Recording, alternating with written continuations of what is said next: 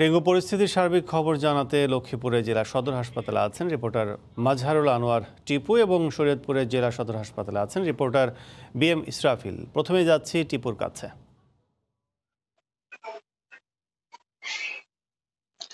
লক্ষ্মীপুরে ক্রমে বাড়ছে ডেঙ্গু রোগীর সংখ্যা। গত চব্বিশ ঘন্টায় এই জেলায় ডেঙ্গু রোগে আক্রান্ত হয়ে চিকিৎসা নিয়েছেন তিরাশি জন রোগী। প্রতিনিয়তই ডেঙ্গু রোগীর সংখ্যা বাড়তে থাকায় চিকিৎসা সেবা দিতে অনেকটাই এখন হিমশিম খাচ্ছেন কর্তব্যরত চিকিৎসক ও সেবিকারা। জেলা স্বাস্থ্য দপ্তরের তথ্য মতে জুলাই মাসে অর্থাৎ জুলাইয়ের এক তারিখ থেকে অদ্যবধি পর্যন্ত মোট ছয়শো বারো জন রোগী ডেঙ্গু রোগে আক্রান্ত হয়ে চিকিৎসা নিয়েছেন। যেখানে গত জুন মাসে চিকিৎসা নিয়েছেন মাত্র পঁচিশ জন। আমি এই মুহূর্তে অবস্থান করছি লক্ষ্মীপুর জেলা সদর হাসপাতালে। এখানে বর্তমানে ডেঙ্গু রোগে আক্রান্ত হয়ে পঞ্চাশ জন রোগী ভর্তি আছেন।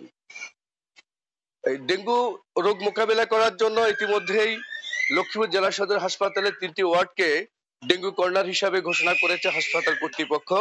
তবে সাধারণ রোগীর সংখ্যা বেড়ে যাওয়ায় ডেঙ্গু রোগী এবং সাধারণ রোগীদেরকে মূলত একসাথেই চিকিৎসা সেবা দিচ্ছেন হাসপাতাল কর্তৃপক্ষ। লক্ষ্মীপুর সদর হাসপাতালের আবাসিক মেডিকেল অফিসার আর এমও ডাক্তার আনোয়ার হোসেন আমাকে জানিয়েছেন যে এই মুহূর্তে লক্ষ্মীপুর সদর হাসপাতালে প্রায় চারশো জন রুগী ভর্তি আছে, যদিও এই হসপিটালটি একশো শয্যা বিশিষ্ট। এখানে একশো শয্যা বিশিষ্ট এই হসপিটালে ডেঙ্গু রোগী সহ সাধারণ রোগী মোট মিলে কিন্তু প্রায় চারশো জন রোগী ভর্তি আছেন। মেঝেতে বিছানা পেতে রোগীরা চিকিৎসা নিচ্ছেন। ডেঙ্গু রোগে আক্রান্ত যারা যে সমস্ত রোগী আছেন, তাদেরকে মশারি টাঙ্গিয়ে চিকিৎসা সেবা দেওয়া হচ্ছে। তবে ডাক্তাররা বলছেন যে আসলে এই বিষয়ে আতঙ্কিত হওয়ার কিছু নেই।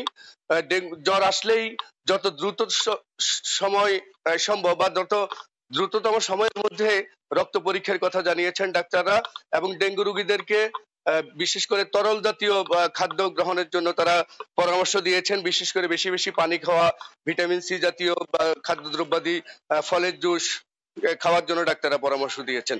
এছাড়া ডাক্তাররা বলছেন যে বাসাবাড়ির আঙ্গিনায় যাতে পরিষ্কার পরিচ্ছন্নতা রাখা হয় কোনোভাবেই যাতে ডেঙ্গু রোগের যে লার্ভা তা যাতে সৃষ্টি হতে না পারে, সেদিকে সবাইকে খেয়াল রাখার জন্য ডাক্তাররা সবাইকে আহ্বান জানিয়েছেন। তবে এখানে গণসচেতনতা বৃদ্ধির উপরেই কিন্তু বেশি জোর দিচ্ছেন চিকিৎসকরা।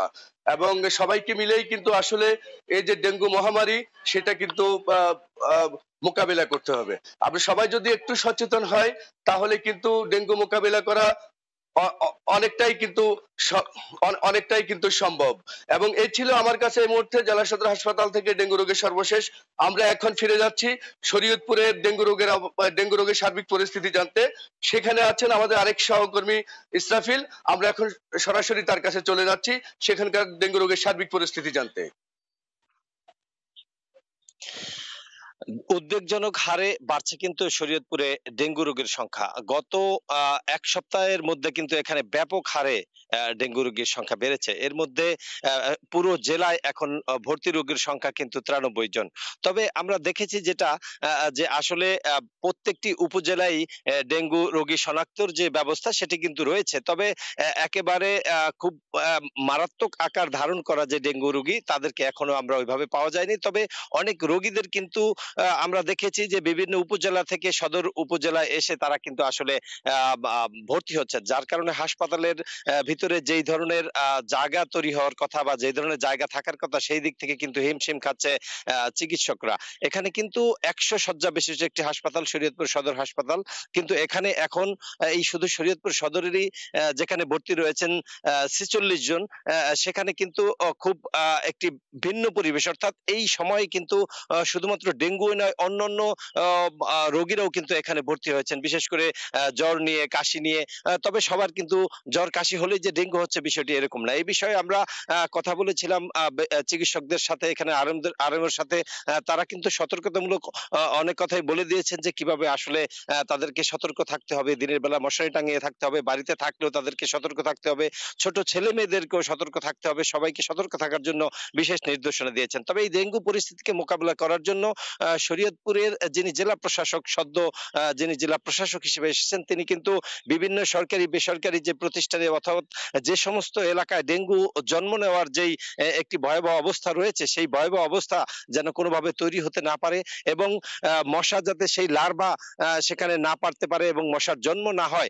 সেই ধরনের পরিস্থিতির জন্য কিন্তু ব্যাপকভাবে তিনি কার্যক্রম হাতে নিয়েছেন এবং সেখানে আমরা দেখেছি যে প্রশাসনের বেশ কয়েকজন কর্মকর্তাকে স্ট্যান্ড বাই সেখানে বসিয়ে রাখার জন্য আহ, নির্দেশনা দিয়েছেন এবং ময়লা আবর্জনা পরিষ্কার করার জন্য তিনি নির্দেশনা দিয়েছেন এবং অন্যদিকে আমরা দেখেছি যে উপজেলা প্রশাসন থেকে শুরু করে পৌরসভা প্রশাসন তারা বারবার কিন্তু আপনার এই মশা নিধনের জন্য যে ধরনের কার্যক্রম যতটা আসলে করা দরকার অতটা তাদের পক্ষে সম্ভব না হলেও মাঝে মধ্যে তারা সেটা করে যাচ্ছেন।